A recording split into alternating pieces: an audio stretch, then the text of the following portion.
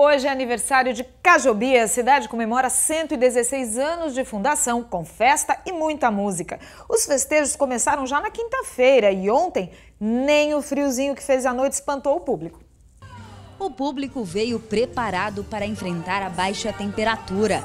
Calça, camisa, chapéu. A festa não é de peão, só que a tradição sertaneja é forte. E a roupa é perfeita para espantar o friozinho. Mas se engana quem pensa que a mudança no clima deixou alguém desanimado por aqui. A gente tem que vir curtir, né? Essa festa está muito boa.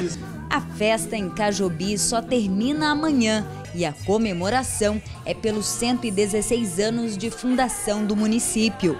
O povo gosta de festa, né? E é isso que a prefeitura então proporcionou esse show justamente por isso, comemoração ao aniversário e agradar a população. Cajobi é uma cidade tradicionalmente festeira. Lutamos muito para construir essa festa, com a ajuda de muita gente. E sempre a cidade teve essa festa no Dia das Mães. A praça de alimentação é um dos atrativos. Mas a galera quer mesmo é aproveitar os shows da noite. Toma aqui os 50 reais. A banda Gênios empolgou o público, que aprovou a festa. Tá muito bom. A gente está amando, está sendo um sucesso. A proposta dos organizadores foi trazer mais uma opção de lazer para a cidade. Todo mundo dançando, todo mundo se divertindo, trazer a família, a sociedade abraçou esse projeto.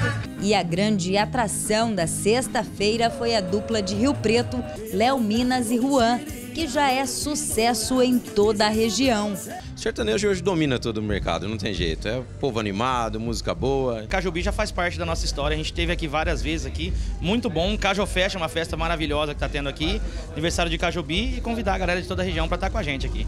A dupla canta músicas conhecidas por todos e o público vai dando show junto com os artistas, já que sabe bem todas as letras.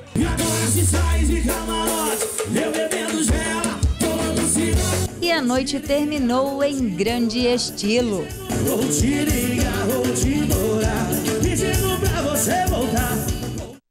E hoje o show em Cajubi é com o seu moço. Amanhã quem encerra a festa é o cantor Jorge Gustavo. O evento está sendo realizado na Avenida Pedro Martinez e é aberto para toda a população.